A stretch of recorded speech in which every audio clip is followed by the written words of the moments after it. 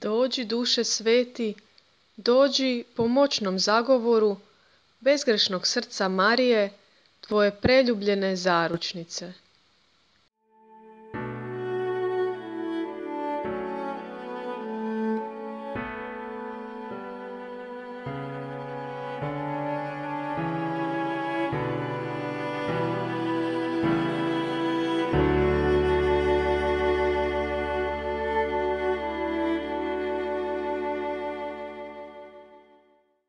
Iz Evanđelja po Ivanu Evo svjedočanstva Ivanova.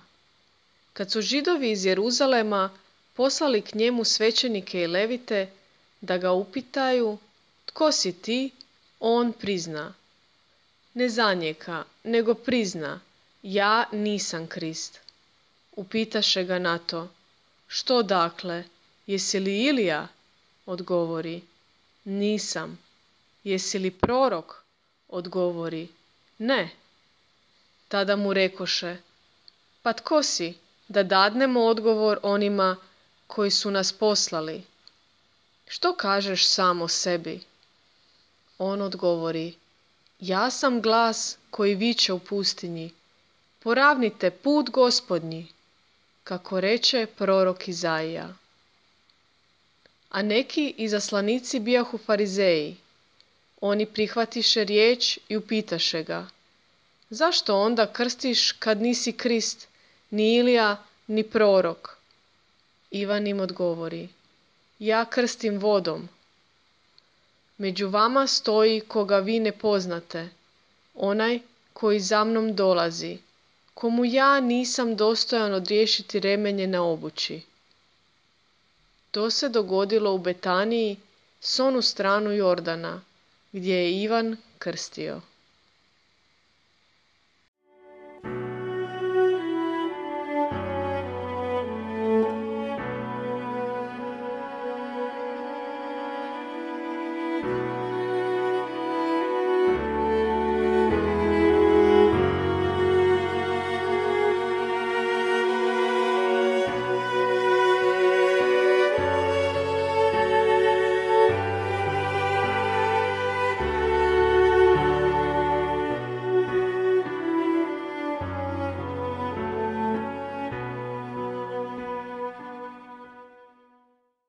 Hvaljen Isus i Marija, dragi brate i još draža sestro.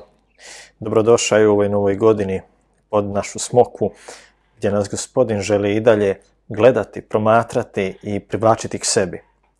Ovih dana imamo priliku slušati početak Ivanovog evanđelja, a baš kao i svaki drugi tekst, barem onaj koji je srcem i razumom pisan, na početku nam želi objasniti možda neke stavove, neke slike, neke, ajmo reći, natuknice koje bi nam trebali pomoći da shvatimo onu bitnu poruku koju će nam tekst kasnije dati. Drugim riječima, kada pišeš neki duži tekst, očito ga pišeš jer je poruka sadržajna, konstruktivna, mm, jer nije, ne radi se o informaciji koju možeš sažeti u jednoj rečenici. E sad, da bi ju dobro mogao shvatiti kada dođe ta srž, pisac te treba pripremiti. Pripremiti na način da ti već, da te zagrije na neki način s nekom možda tematikom, nekim likovima, nekakvim predznacima pod navodnicima, ili možda čak da te riješi nekih sumnji. Možda je to ipak slučaj evo, današnjeg čitanja, kada smo čuli susret dviju vrsta izaslanika.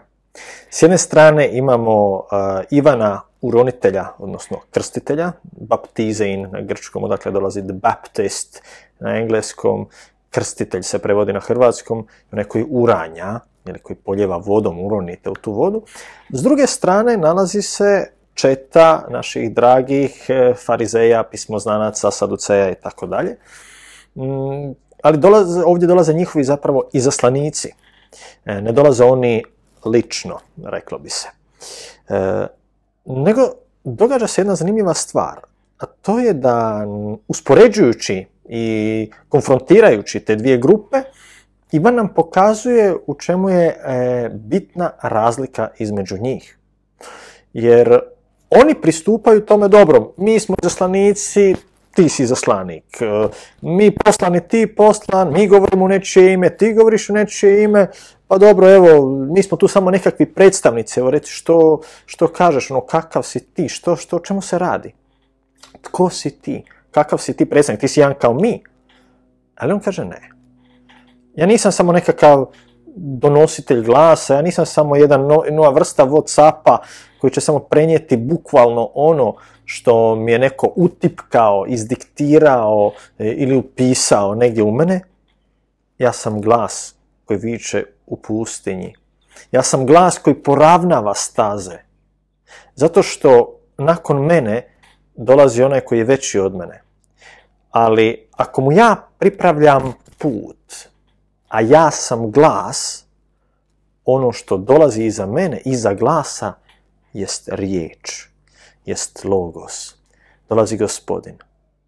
Zato, draga braćo i sestre, nemoj iti pristupiti ovome tekstu kao da je to neki tekst kojeg su ti napisali farizeji.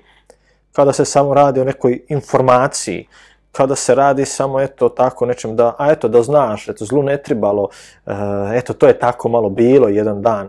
Ovo nije povijesni tekst, što ne znači da nema nešto povijesno u sebi, ali to nije povijest. Ovo je priča koja ti želi promijeniti život. Zato ju poslušaj.